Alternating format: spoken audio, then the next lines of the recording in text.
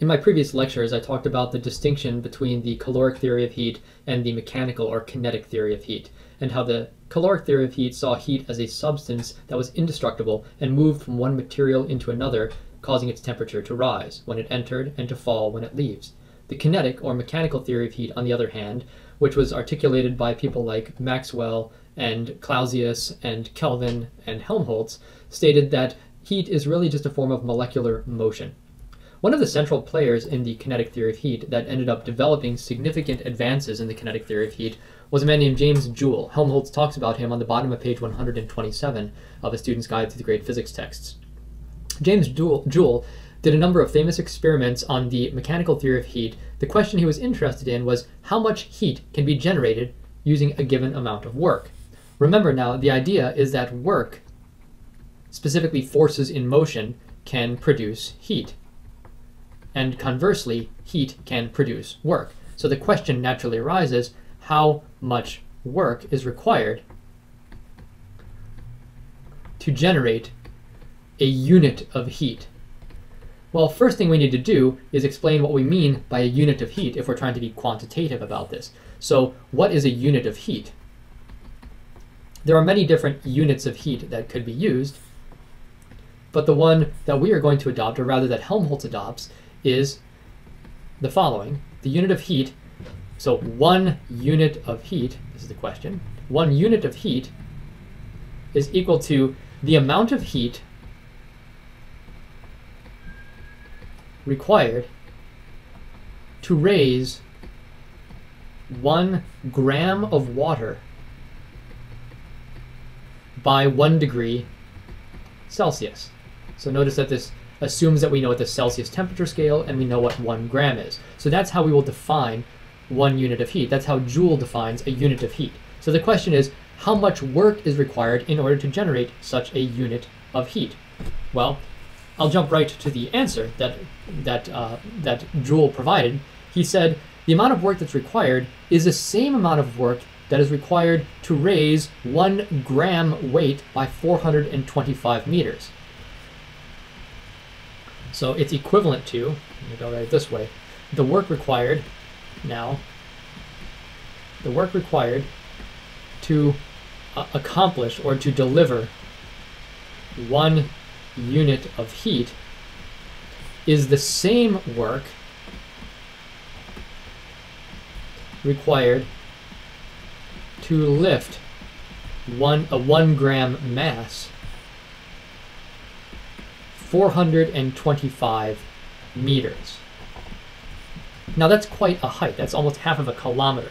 So we could figure out how much work that is. Well, the work would be equal to the weight times the distance, right? That's how we compute work. And the weight would be, well, one gram is 0.001 kilograms. And if we want to convert that into a weight in newtons, we'd have to multiply by 9.8 meters per second squared. That's a conversion factor. I'm just going to round off to 10 meters per second squared, I won't be too far off. And multiply that by 425 meters, and you'll see right away that, well, this becomes 0.0001 times 10 times 425. That gives us 4.25 newton meters, or 4.25 joules. That is the amount of work one needs to do in order to deliver or to create one unit of heat. That is the amount of work required to raise one gram of water by one degree Celsius. Now, this is kind of abstract. It's 4.25 joules. You don't really have a sense of how much this is, but maybe to give you a sense of this, suppose I were to take a one gram cube of water. So this is one gram cube of water.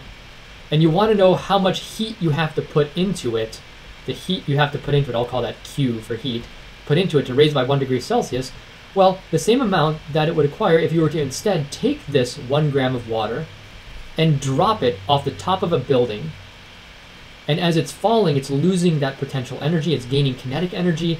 And if it falls 425 meters, all the while it's gaining speed faster and faster and faster and faster.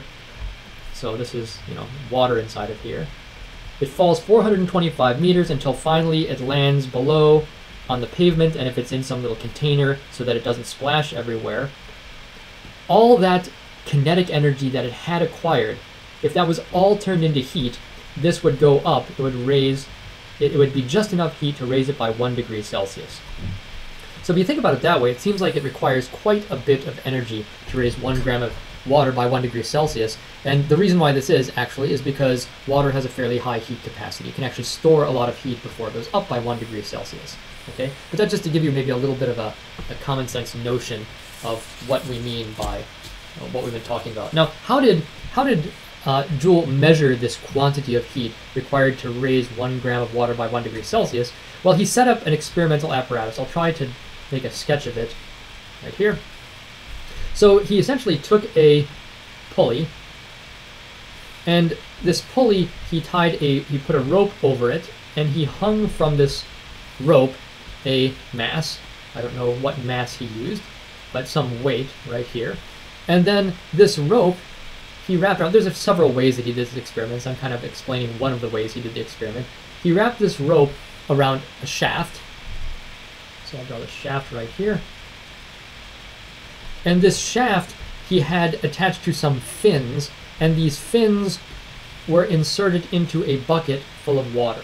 So I'll draw the bucket first, like this. And I'll put some water in here. Okay, and let me continue drawing this shaft going down into here. I'll kind of draw what's going on inside of here. He had these fins attached to it. I Imagine it looking a bit like this. I'll go ahead and draw the solid lines. This is roughly what's going on. And so, as this weight was allowed to fall, what would happen is that this shaft would rotate as it fell.